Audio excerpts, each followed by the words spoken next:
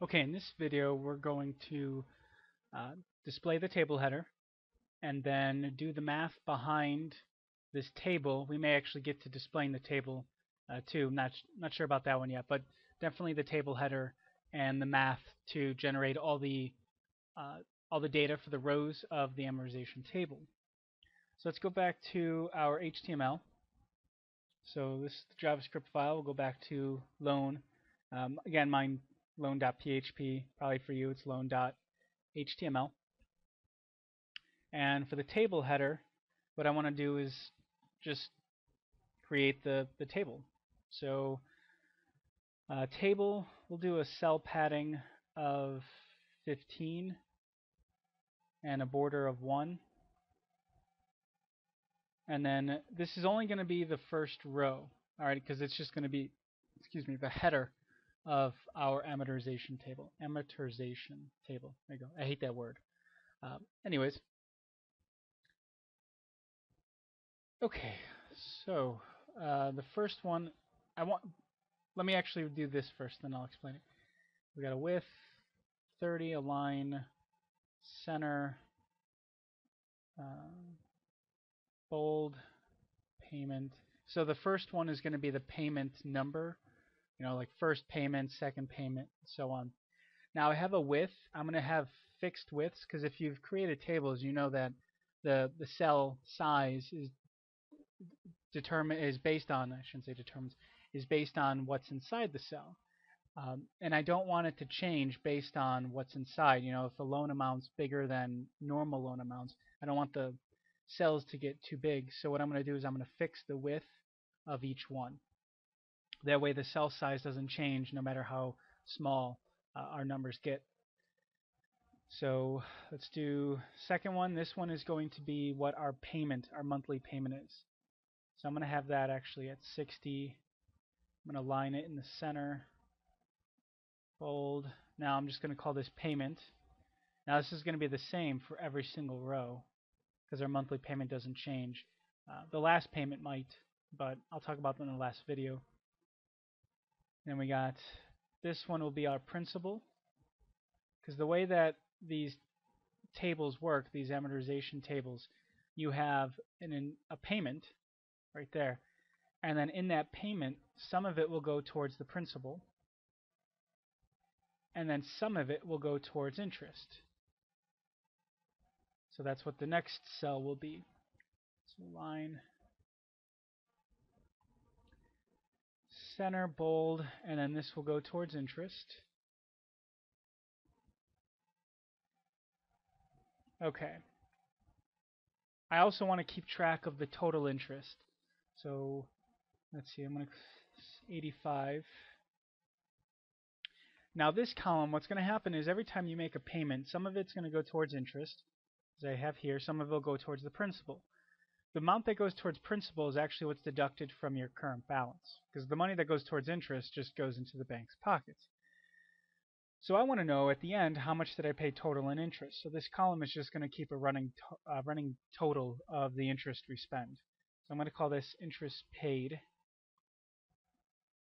And our last column will be what the balance is because I want to keep track of the current balance.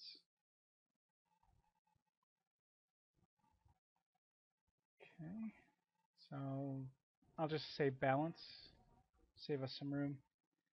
That should be it. Let me, so we end the row, let's end the table.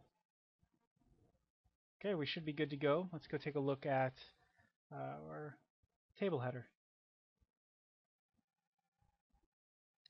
Okay, that works for me. Um, again, we can we can fix this up a little bit later with some CSS. But uh, that's good. Okay, so let's go ahead and do the math uh, to generate all the rows or all the you know principals and interest and interest paid. So let's do that. Uh, let's go back. Here we go. All right, so that was in the HTML file. Let's go back to the JavaScript file and then okay, so below here we're going to get started with the JavaScript.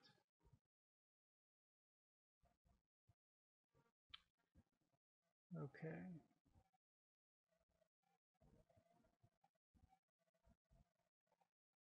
Okay, sorry. Okay, so what I'm going to do is I'm, it's very similar to how what I did up here. I'm going to create a table to display to the user, but I'm going to do it all in JavaScript so that the entire HTML code for the table is stored in one variable. And then I'm just going to do something exactly, well, exactly this, only with the table to display the amortization table. Yeah. All right, let me just start writing it.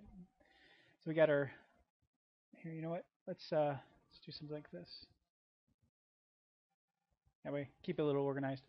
All right, so we're going to have a table or a variable. I'm going to call table. And just like with info, I'm going to declare it and leave it empty. And then let's actually make our first row. Now what I want to do is in the first row, okay, which is going to be right here, I want to have payment zero. So basically I want all of this blank. I want this to say zero. I want to leave these blank and then have my first row, but it's kind of like our zero row, our pre um, payments. I want the balance right here to be 100 and, well, whatever your loan amount is. Okay.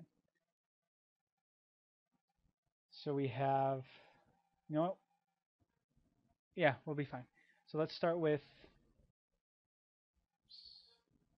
table plus equals, and then we'll open the table. It has to be identical to the table that I had done previously at the beginning of the video. So we're going to have padding of 15.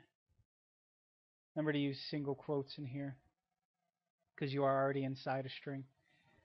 Uh, border 1. Okay, and then we'll open up our row. I'm indenting for the table cells, just kind of keep things organized. All right, so our first cell, remember the width is 30, and this was our payment column, so my payment is going to be 0. Then the next one was our pay monthly payment, but again, because this is payment 0, we actually haven't made a payment yet, so I just want to leave this blank. So we're going to have a width of 60, but to leave it blank, I'm just going to throw in a, uh, uh, well, one of these non-breaking space. Yeah. Okay. Uh, let's see. Close that up. All right, and I'm just going to copy this because I'm going to do this a couple more times. Oops.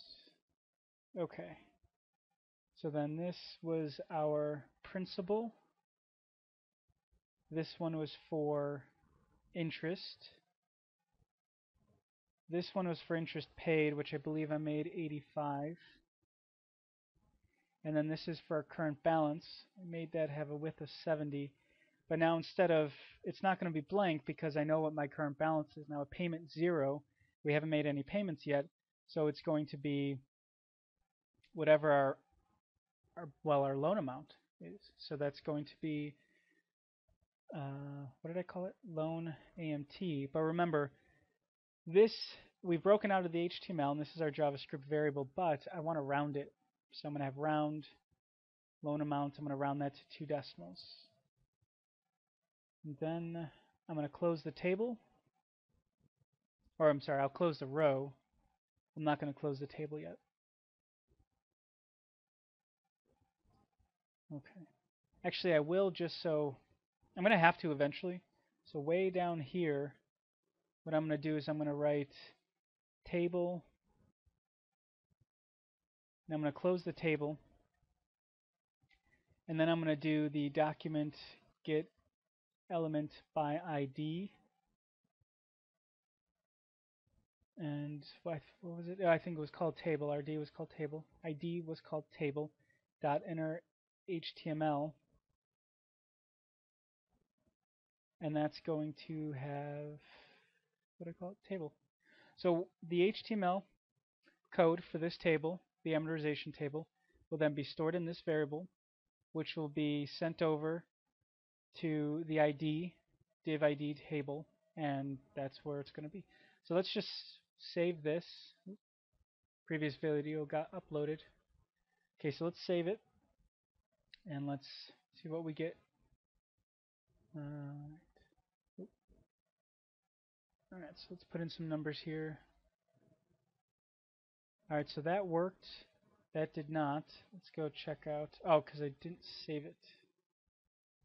Alright. Refresh. Okay, you can see how that the, our first row shows up. Payment zero, so nothing else. You know, we haven't actually made a payment or a principal or interest or anything like that, but we have a current balance of $180,000. So now, what I want to do is I want to start my loop that goes through and generates every row of my table. So what I do is I'm going to say while the current balance is greater than zero. All right, and then in here, what I'm going to do is create the rows. Well, what's the current balance? Well, initially the current balance is our loan amount. Okay.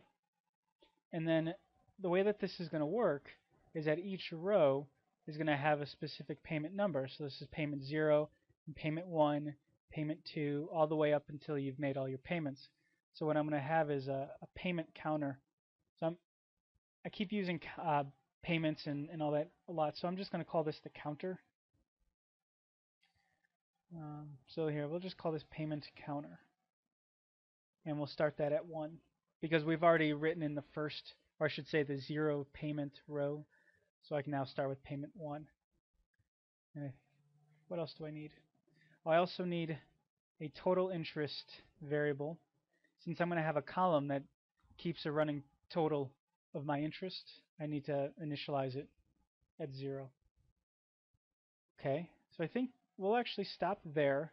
And then in the next video, I should be able to do get all the math done, and we'll we'll write the table, and we should we should be able to finish in the next video. All right, so I'll see you then.